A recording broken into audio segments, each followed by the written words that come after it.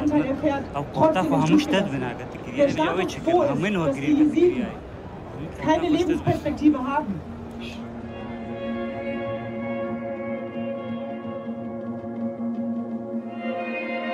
Catastrophe is unfolding in northern Iraq. ISIL forces have called for the systematic destruction of Yazidi people, which would constitute genocide. They killed most of her family and they made her their slave. She managed to escape, but thousands of women are still being held, which is why Nadia Murad is campaigning to try to get the world to notice and do something.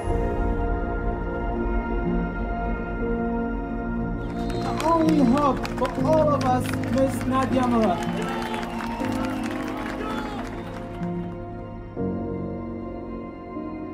when you think about the men who raped you, what do you want to happen to them? She tried to resist. Could you tell him no? They killed your mother as well. I What think. happened to the women? What happened to you?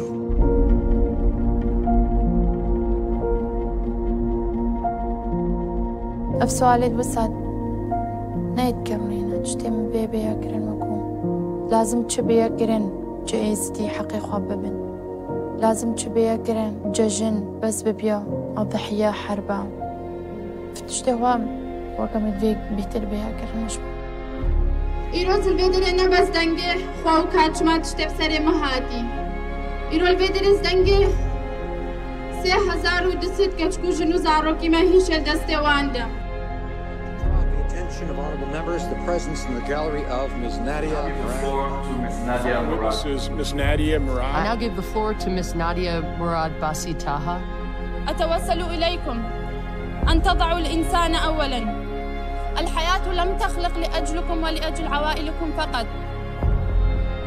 فنحن أيضا نريد الحياة ومن حقنا أن نعيشها.